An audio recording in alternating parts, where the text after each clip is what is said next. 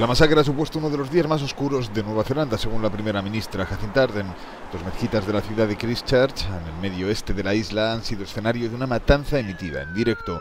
El periódico New Zealand Herald apunta que hay al menos 27 muertos. Uno de los atacantes ha sido arrestado, pero la policía ha indicado que podría haber más implicados. Varios miembros del equipo de cricket de Bangladesh estaban en el lugar en el momento del tiroteo y fuentes locales apuntan a que pudieron escapar.